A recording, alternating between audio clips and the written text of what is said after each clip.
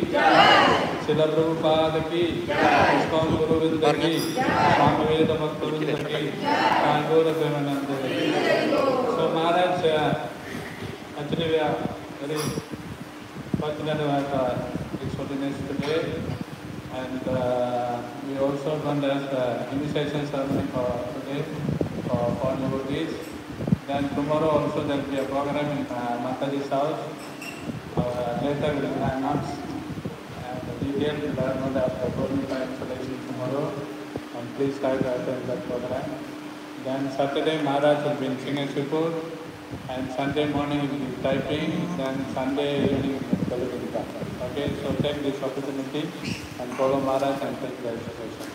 Hare Krishna. Hare Krishna. So Maharaj will give the speech.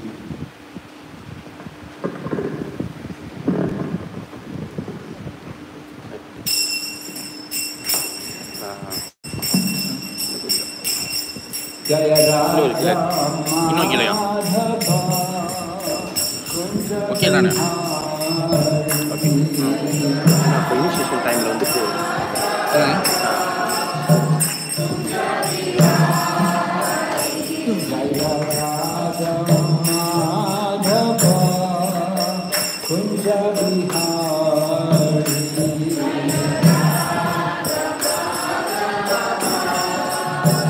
Punjabi Hare गोपी जान बाउला बागिरी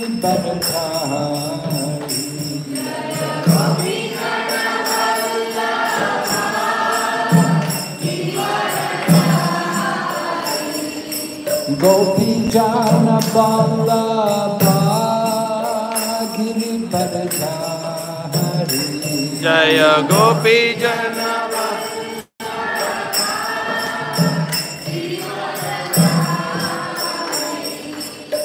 यशोरनन्दन Vraj जनरञ्जना Yashodanandan Vraj जनरञ्जन यशोरनन्दन Vraj जनरञ्जना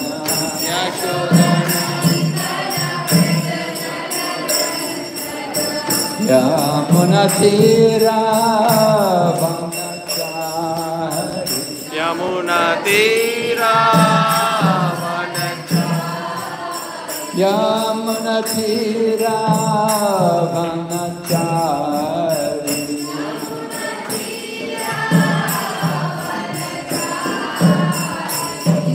Hare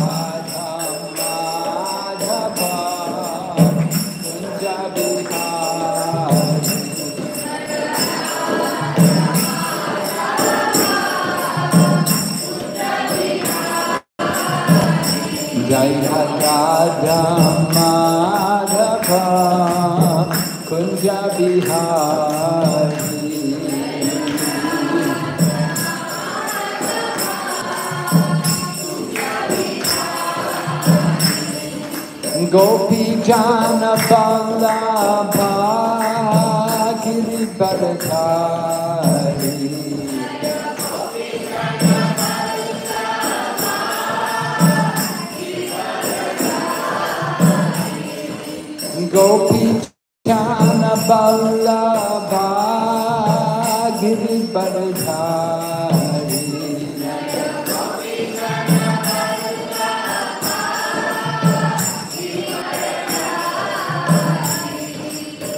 Yashodananda Prakashanaranjana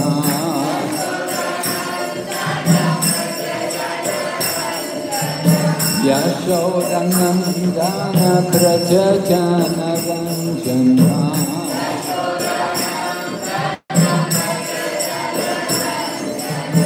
Yamuna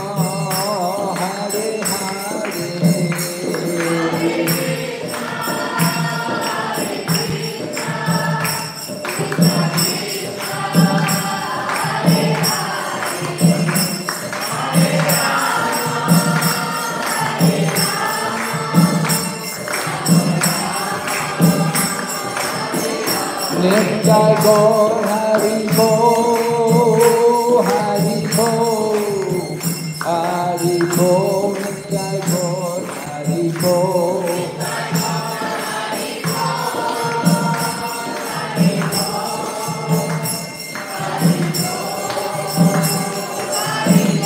Jai Jai Prabhupada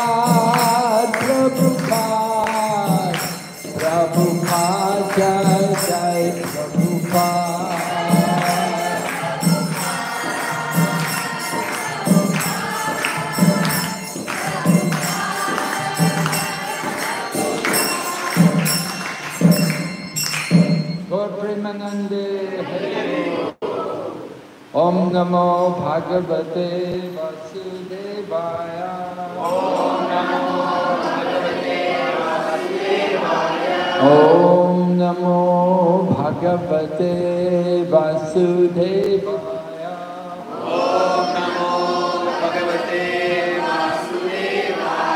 ओम नमो वासुदेवाय।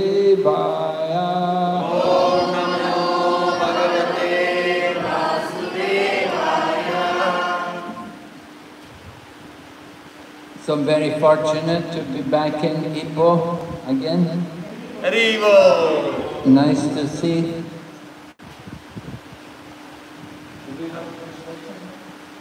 Do we? I can all understand. Okay, so seeing so many familiar faces, very nice. And also some new faces also. And to see Tejasu, here, come back from JB with their mother. Their home is actually JB, right? Your second home is Ipoh.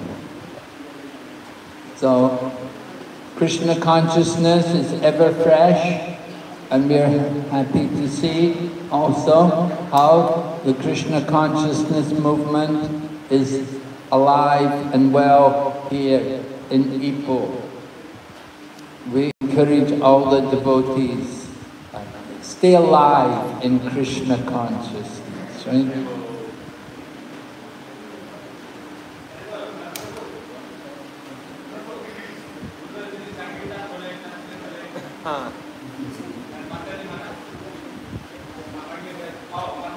Oh, okay, okay.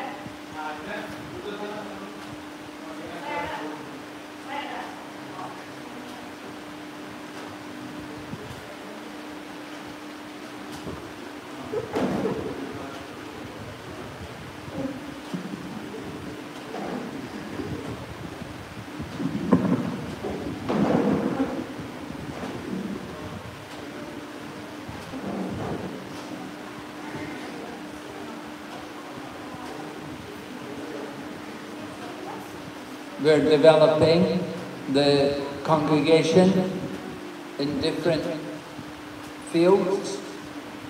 Some places it's Telugu, some places it's Tamil, some places Chinese, and some places Bengali. we have a lot of different languages. But the purpose is the same.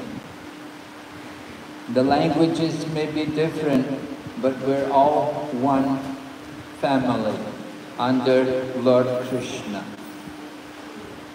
Lord Krishna is the Father.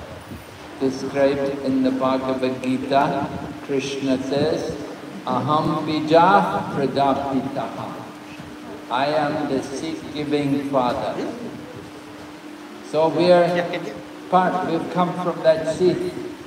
Krishna gave the seed that we've developed the, this body. We come to Krishna consciousness and we should understand part of the process, what's going on here in Krishna consciousness. It begins with Shraddha, faith. We have to have some faith. We believe in the importance of having a religion or having some religious belief. Sometimes some people, they believe in God, but they don't know who He is. We, we don't know anything about God. But we believe there must be somebody there. There must be somebody behind this world. Just like we say, where did it, where did this town come from? Ipoh. Ipoh is a very nice town. It's much more cleaner and more peaceful than Kuala Lumpur. Fortunately, in Ipoh we don't have all the condominiums which they have there in Kuala Lumpur. I don't know, are they building condominiums Yeah, it's coming up, now also? Oh, It's coming up. horrible, yeah. Terrible things. So anyway, Ipoh, there's a lot of trees, mountains, a lot of nature is here in Ipoh. But at the same time, there's also a number of people who live here. So, you know, we could ask, where did it all come from? Where did Ipoh come from? And the scientists, they may say, oh, there was a big bang. You know, the scientists, they have a big bang theory. They say everything came from the big bang. Right? You study physics. Did you get an A in physics, teacher? teacher? You don't do physics, huh? You don't do chemistry or physics. Oh, you're more arts, is it? Oh. Okay. So anyway, people who study physics, they will know about the Big Bang Theory. Where did life come from? They say there was a Big Bang. And after the bang, then everything came. All the universe with all the planets and the sun and the moon. And it's all rotating very nicely. So of course, if we try to apply this theory to Ipoh, where did Ipoh come from? Oh, there was a big bang. And we woke up the next morning, and there it was, Ipoh. Right? With all the roads and the train station, and they even have an airport here, I think now. There's also airport for Ipoh, and the, there's so many highways, and there's schools, and there's hospitals, and there's libraries, and there's a police force, and there's so many facilities. There's water supply, and electricity supply, all of these things are there. So who made all these arrangements? And even you can go to the market, you go in the supermarket, and they have all, everything there you want. You can buy your rice, you can buy the flour, you can buy the meat. Everything is there in the market.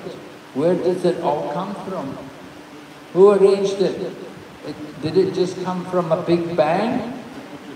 Was it just a big bang and everything came about? Of course, that, that would be absurd. That would be ridiculous. Does not make any sense. But just like this microphone, where did it come from? Well, there's a factory, and in the factory there are technicians, and there are people who design, and other people who make the thing, put it together. And the same, the same is true for motor cars. We were coming on the highway from Kuala Lumpur and I saw the sign Proton City, right? Proton City and I, I didn't have to guess what they, what they make there, right? Must be where they manufacture the Proton car.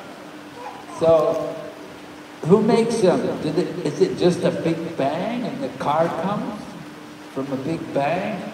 No, there are people, engineers, technicians, and they design everything, and then somebody, they have to put the parts together, and then they will test it and make sure it runs nicely.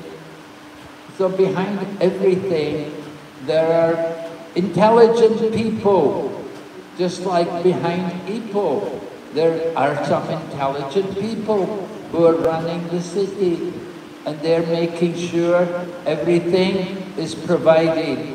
The needs of everyone is given in the city. all provided by the intelligent people.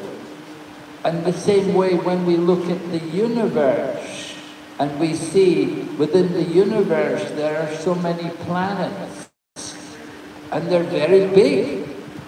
The huge planets. Our Earth planet is one of the smaller planets in the universe. And they're rotating at a very high speed. But we don't know, we don't even notice how we're moving at a high speed and how the earth is rotating. We're not even aware of all of these things because everything is so well made. Just like when you go in a good car, if you have a good car, even if the road is not very good, you, you don't notice the bumps very much, right? Because, because the, suspension, the, the suspension on the car is so good that it absorbs the bump and you're driving in the car, you don't notice it. And so, with good design, you, you're not aware of the speed, you're not aware of the bumps and everything. And similarly in the universe, there is very special design. And we could say the devas are there. There's a team of devas. And how many devas they say? 33 crore devas. That's a big team. You know, Amazon may be a big company and they have a lot of workers organizing everything. You want to buy things from Amazon, there's a whole network of people. Whatever you want, your call will go to somewhere you, and they, they will arrange and it will be delivered to you, right? There's a big team in the company. There's, a, there's so many teams and they're all working for that one company. So in the same way, there are 33 crore devas in the heavenly planets. There are 33 crores great demigods there. And they're doing a lot of different things. They're controlling our eyes, they're controlling our fire of digestion, they control our breathing, our health. It's all under the control of these different demigods or the devas. But, but these devas, they only control one, each deva is in charge of one aspect, one particular part of nature. Just like Indra, he's in charge of the clouds and the rain. Whenever you come to Ipoh, usually you get rain. Quite a rainy place, you know? Like Taiping. Taiping is the, the wettest place in Malaysia, right? You get a lot of rain there. So here also in Ipoh, you get good rain. We didn't see much rain in Kuala Lumpur, but you come to Ipoh, immediately there's rain, you know, because mountains are here, Ipoh Hills, you know, so you get rain. It's, it's very nice, it's cooling and refreshing. If there's no rain in Kuala Lumpur, and, oh, it's so hot, so dry, but come to Ipoh, it's more fresh. So Indra is in charge of the clouds. And similarly, you want to be a, a, a, you want to study, then Saraswati is there. The goddess Saraswati. She's in charge of singing and dancing and studying different arts. So the goddess Saraswati, she can give blessings to people. There was one person, Keshav Kashmiri. He was a, a great pundit. He was called Digvijay, means he conquered everywhere. And he was going everywhere to debate with people, and he was he was un undefeatable. And so he was a great devotee of the goddess Saraswati. But then one day he came to Mayapur, he came to Navadvip because 500 years ago Navadvip was an important center of learning. There were many colleges and pandits and there was many uh, Vidyalayas, you could say, you know, universities and where people would come and they the brahmanas would come and learn Sanskrit and they would learn the different philo philosophical systems like Nyaya. Chaitanya Mahaprabhu was teaching logic, Nyaya. So there were many people, students here. So the Digvijay, Kish, Kashmiri, he came there to Mayapur to challenge everyone. And everybody ran away. They were all afraid. Only Lord Chaitanya stayed to meet him. And when they had a debate, Lord Chaitanya defeated him. Lord Chaitanya showed mistakes in the words of the Keshav Kashmiri. So Keshav Kashmiri was defeated. And he wondered how he could be defeated. So that night he went back and he prayed to Goddess Saraswati and he prayed to Goddess Saraswati, I must have offended you, this young boy, teenage boy, Nimai Pandit, he defeated me, I've been humiliated by him. But Goddess Saraswati told Keshav Kashmiri, no, you've not been humiliated. That teenage boy, he is my Lord and Master. So the point is, above all of the devas, there's one supreme being, the Param Ishwar. So that one supreme Lord, that is the worshipful Lord. That generally we say Bhagavan. So we want to understand there is a supreme God and we want to learn about Him, we want to worship Him, and we want to develop our relationship for Him. But in order to come to understand God, the first thing is to understand who we are. If we don't know who we are, then we'll never understand who is God.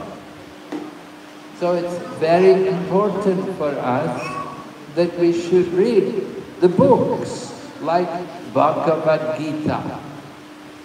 Now Ipoh is having a nice education center, right? Ipoh has become the center of learning for Malaysia.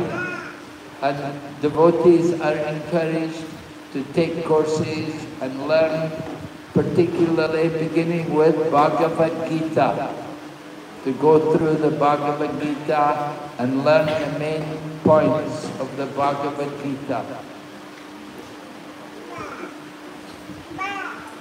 So education is important. Malaysia people spend a lot of money for education. You go to colleges, you go, you not, not everybody is a brilliant student and get nine A's or eight A's, right? Not everybody. And if you don't get a lot of A's, then you got to pay, right? You've got to pay for the education. And it's expensive. Education is big, big business. You go to universities, colleges, you pay a lot of money. And of course Malaysian people, they like to go to foreign countries to study even. If they can't get the place here in Malaysia, then they go overseas.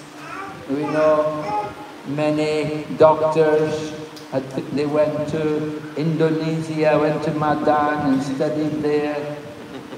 And then other people went to Russia or Ukraine and studied medicine there. Not everybody can go to England or Australia or America that costs very big money. So education is important, but the education which you get at the colleges, that is all material knowledge. And that is all knowledge to help you get a job so that you can find work in the material world. So you study things like computer programming, or you study law, or you study this and that, and then you get a job, you can find a job working somewhere, and this way you make some income to maintain your life. So that is material. But we need also spiritual knowledge. Spiritual knowledge is important for us because it will help us from going to hell. That is the problem. That there's the danger that if we don't make proper use of the human life, then the next life we will not get the human body. You'll lose the human form of life. Now we have the human body, and human life is for understanding God and understanding our relationship with Him. Now people, as they often say, oh, why you worship Indian God? Some people think, why you're worshipping, you're not Indian, why you're worshipping Indian God? So I have to tell them, God is not Indian. Yeah? That is ignorance to think that God is Indian. There's one God for everyone. Whether you're Indian or American or Chinese or Russian, whatever, it's the same God for everyone. But He has many names. And we see different parts of the world, they give God different names. So, in some countries like in the Middle East, they will call God as Allah. And if you go to uh, Europe or Spain, Italy, then they will say God is Jehovah or Mary, Mother of God. Right? Like that. Hail Mary, Mother of God. And then there's also Jehovah and Allah and some people sometimes not very common. They may say God is the Buddha. So like that, and, and then in India, there are many names for God. And, and who is the God? Sometimes people in India think they're all the God. They don't know that there's one supreme God over everyone. They're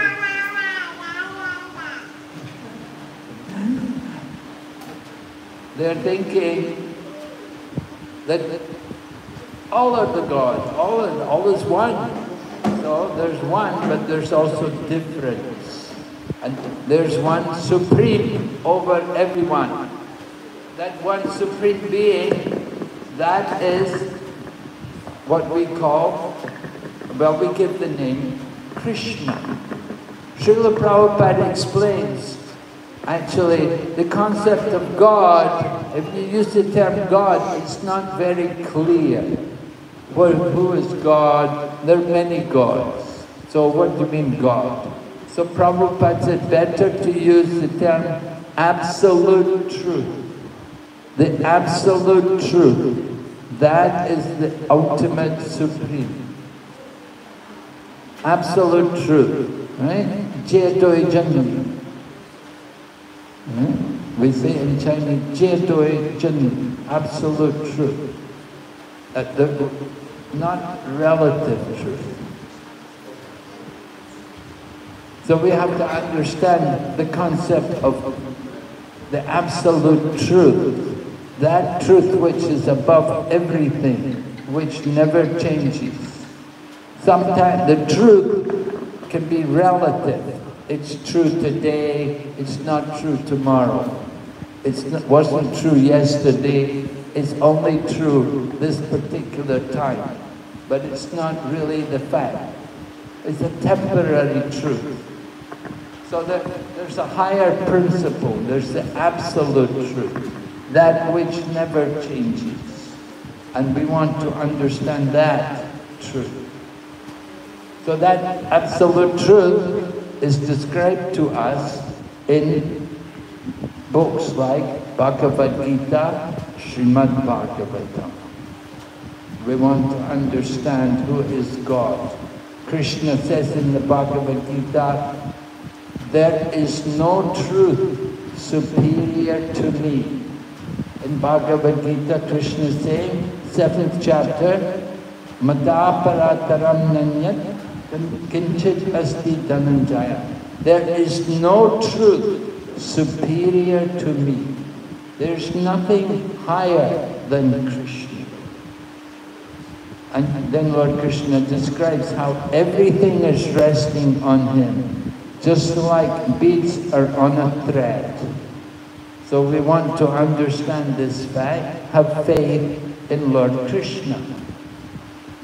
In Srimad Bhagavatam, the Srimad Bhagavatam, the very first verse is Satyam Param Dhimahi. Satyam Param Dhimahi. I meditate on that Satyam Param, the supreme truth. Dhimahi, medit I meditate on that supreme truth.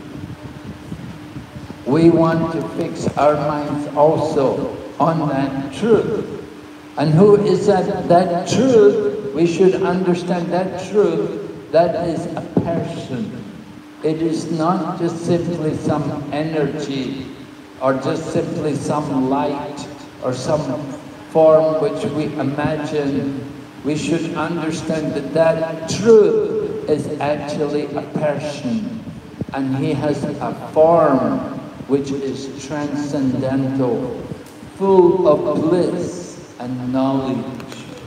Just like we have a form, God also has a form. So, in order to understand these things, you have to come to Krishna consciousness you have to take up this process. And it begins with hearing and chanting. You start to come to the temple, you come here, you have a little faith that I can learn something here, that there's some good things going on here, I want to come, and you start to come, and then you start to regularly hear and to chant. And of course we give also. Like here, we give the beads in the bead bag and then you start to chant regularly. And after you're doing that chanting regularly and you've developed some faith in it, then at that time, then you can accept the spiritual teacher. As we're doing tonight, we're having initiation we give the initiation and we give the beads to the devotee and we give them also a name, a spiritual name. Mother and father, they give the name of the body. But the, the spiritual teacher, he gives the name for the soul. And the soul will be described names like Krishna Das meaning servant of Krishna. Or Radha Dasi, servant of Radharani. Right? Servant, we're always the servant. Krishna is the master, we are the servant. So initiation is the beginning of our serious practice in the spiritual life. A number of you are initiated, I know. I hope you're practicing seriously and you want to go on. After initiation, then you come to the stage of removing the dirty things from the heart, getting rid of the anger and the greed and the lust and envy, all the dirty things which are in the heart. We want to clean them out by hearing and chanting. And then, after that, then the next stage is to become steady. You become steady in your practice. And then you get more taste. You start to develop a feeling of pleasure in these activities. And then you go on to come to bhava and Prema. Bhava and Prema are the topmost level of practice of devotion. And from prema, then prema goes on into many different levels of prema. There are eight different levels of prema. Right? Like anu, and uh, uh, it's only the top madana, madana, madana, like that. This very ecstatic love of Krishna. So the very topmost level, this is for Srimati Radharani and Lord Chaitanya and great devotees like that. But generally these topmost levels are not for ordinary people like us. But we do want to try to come to the higher levels, to get rid of the things from the heart, to clean the heart, and to develop that love for Krishna. So it comes about by hearing and by chanting regularly. But to do good hearing and chanting regularly, you also have to follow some rules. One thing is, you should be a vegetarian. And not only vegetarian, but you should eat food offered to Krishna, to Sadam. We say Krishna-tarian, not just vegetarian, but Krishna-tarian. And we don't eat onion and garlic. These things are very common when you go, if you go to restaurant, they have, they will say vegetarian food, but it will all be cooked with onion and garlic usually. So devotees of Krishna, we don't like to eat onion or garlic because they're very passionate and they just increase the passion which is there in us. So we want to avoid these things. So first is vegetarian, no meat, no meat, no fish, and no egg. You have to be careful about eggs because they put eggs in many things. You buy bread, they'll put maybe eggs in the bread. You buy ice cream, they'll put eggs in the ice cream. You have to be careful what things you purchase because they often put eggs in the, the thing. Biscuits and so on, noodles even.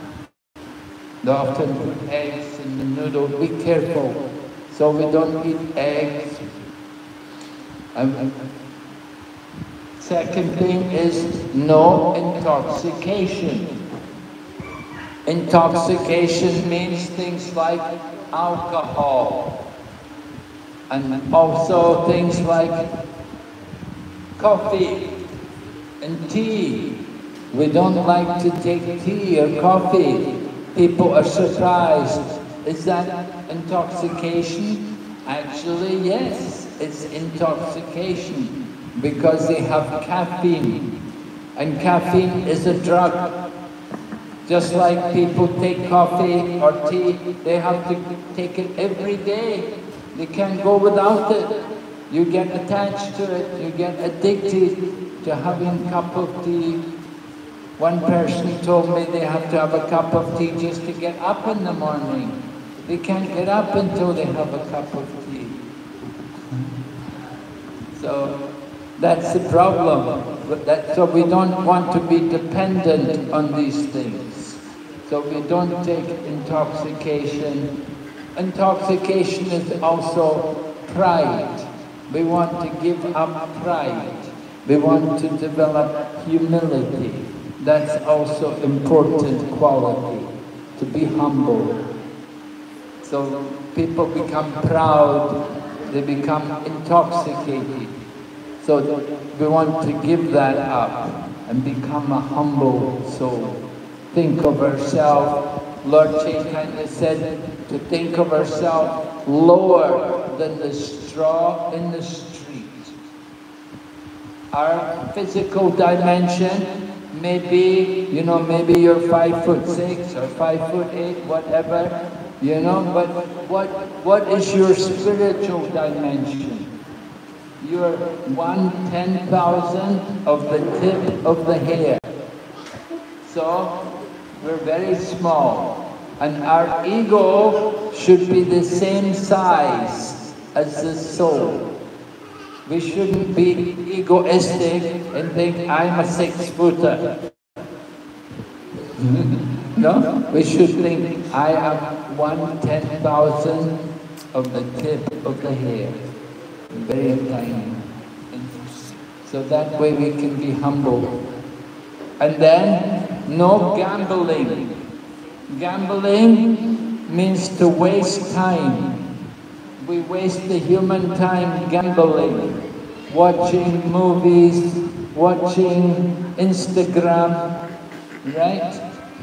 Now, I don't want to give a plug for this think, oh, what's that? I'll have to watch that. I have to be careful. If I mention all these things, people will go more interested. So there's so many devices, so many things to waste our time. So that's gambling. Gambling, because we don't know when we're going to leave the body. And if you're watching something not Krishna conscious at the end of life, not very good. So don't gamble. Don't waste time. And then the fourth thing, no illicit. Get married and have children. We like children. We can see many children here today. So we like children. It's very good. Have children and bring them up to be Krishna conscious devotees. That's very important. If your child doesn't become a devotee, then no point. Just a burden. But if your child is a devotee, then the child can take you back to God. So those are the four principles. So when people take initiation, we ask them to vow, to follow these four principles. And if they follow these four principles, then they can be, they can advance very quickly. Very quickly they can make advancement. And to help them advance, they have to chant every day. And we have we ask people to chant 16 rounds. People say, oh, 16 rounds, so many, oh, if only I had to chant four rounds, it would be much easier. I could do four rounds, but 16 rounds, oh no, too many. Problem, but if you say, all right, then four rounds, then after some time you say, oh, it's too much. If it was only one round, I could do it. And then, oh, why one round? Just one mantra. If we just chant one mantra, it's enough.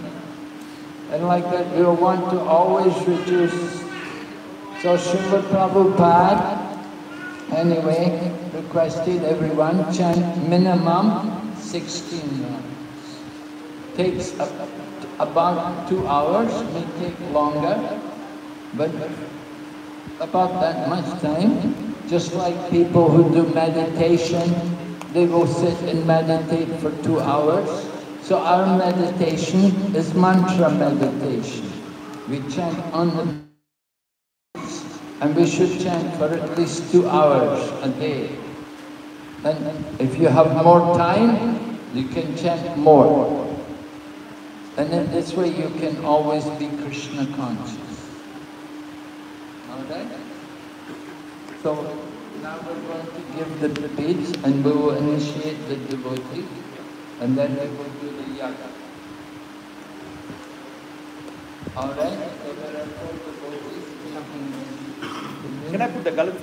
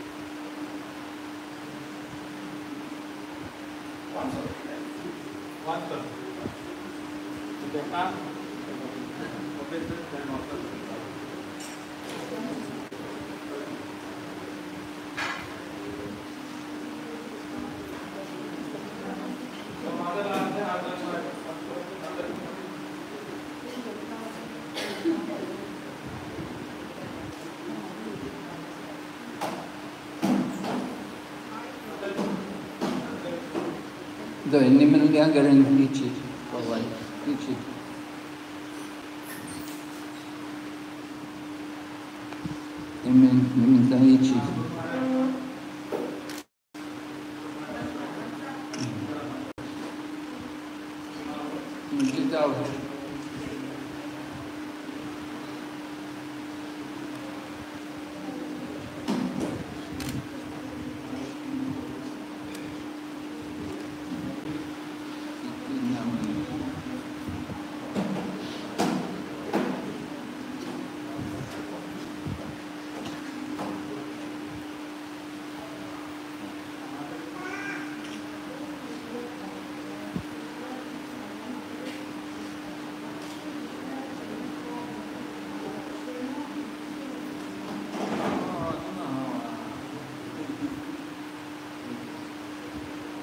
I'm Grape Punch riesce a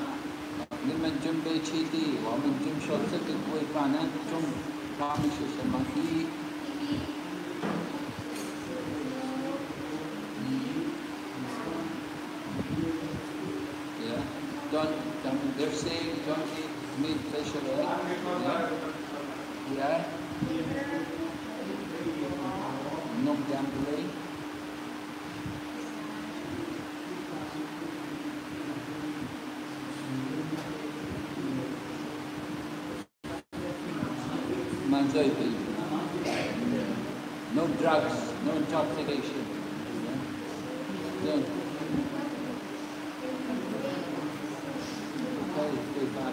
No. Illicit sex. Okay? How many, many things you have no sex again? There should be many. Think they're, they're already married 26 years. You got children, right? What, yeah. Megan, uh, Oh, they have two children, one son and one daughter. So they're taking birth in Krishna consciousness, Sai Krishna. Ninda links in the Shanghai. So eh, Prabhupada means that, Mama Gini means that, Hari Govinda Das.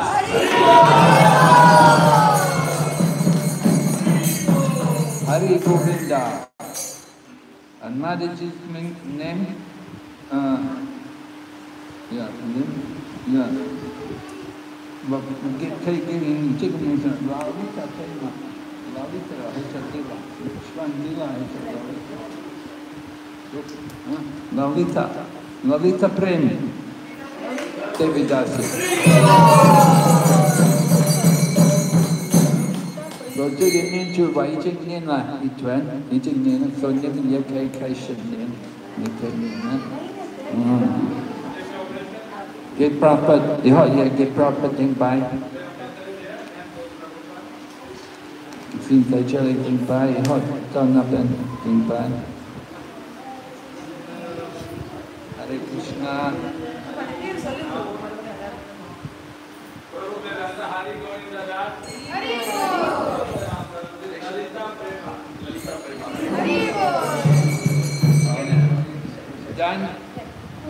Dana Lakshmi.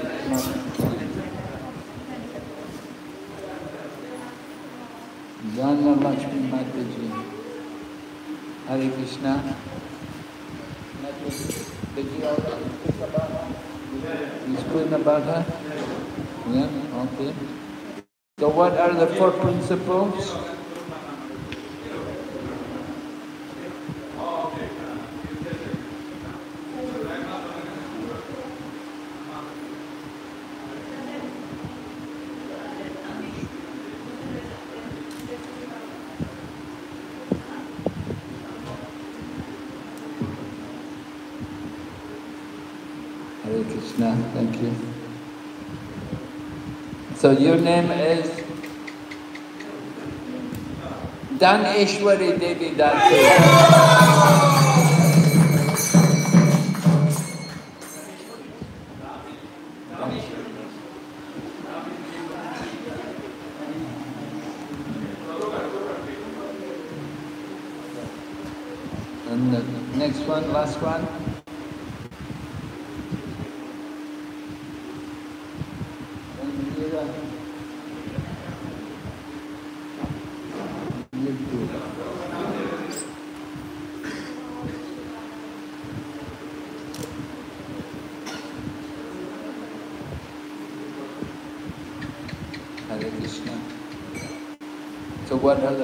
Principles?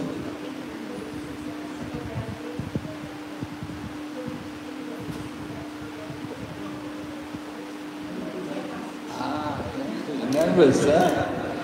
Very nervous here tonight. So we have a beautiful name for you here. Saki Vrinda Devi Das. That, that feedback goes with the color of your sari? Saki Vrinda Devi Dasi ki. Okay.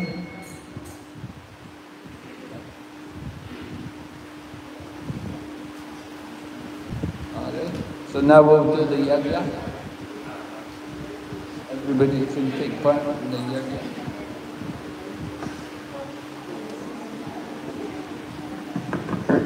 இந்த மாதிரி தீட்சை இருந்தால் நம்ம வந்து யாகம் அதாவது வைஷ்ணவம் செஞ்சு அவங்களுடைய வாழ்ஸை வந்து உறுதிப்படுத்துகிறாங்க ஸோ அதனால் வந்து இப்போ இது யாகம் இருக்கின்றது. ஸோ பக்தர்கள் வந்து கலந்து கொள்ளலாம். ப்ரோ மேன் ஃபுட் பார்க்கணும் புரியாது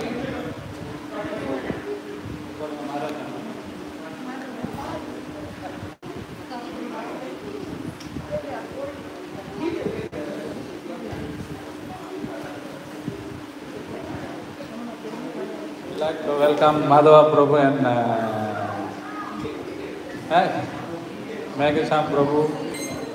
First time coming up. Second time. Uh, uh,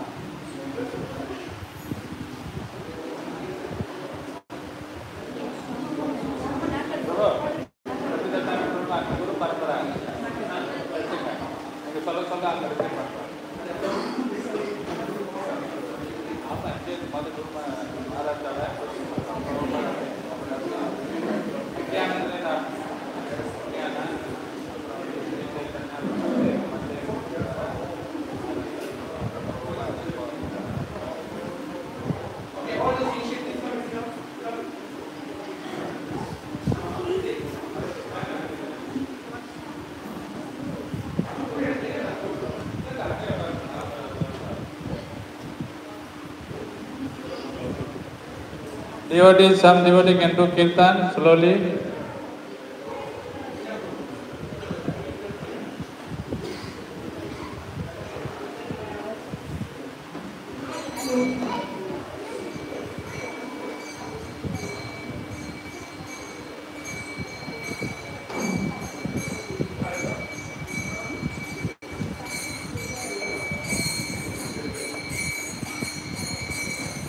Hare Krishna.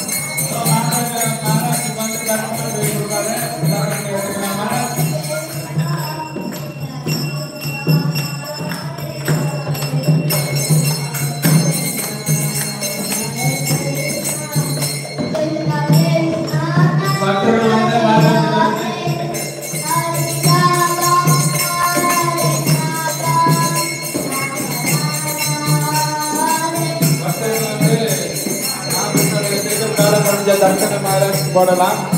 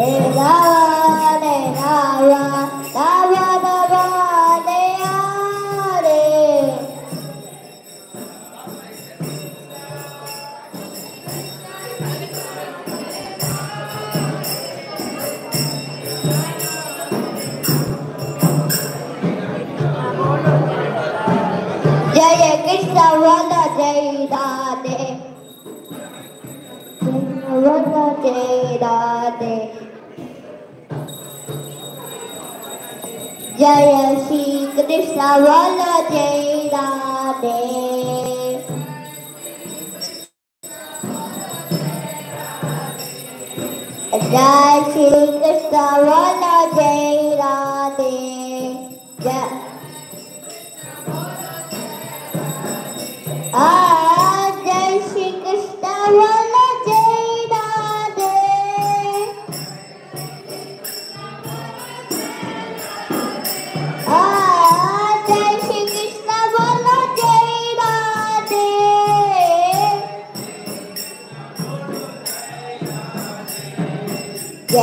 जयदाते जयदाते जय श्री कृष्ण बोल जय राधे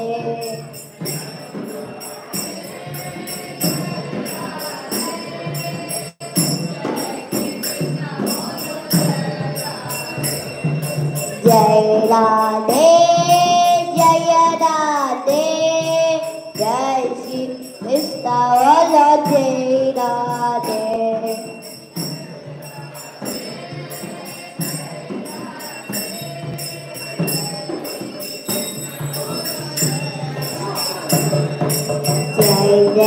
राधे, जय जय श्री राधे, जय जय श्री राधे, जय जय श्री राधे, जय राधे जय राधे, जय श्री कृष्ण, बोलो जय राधे।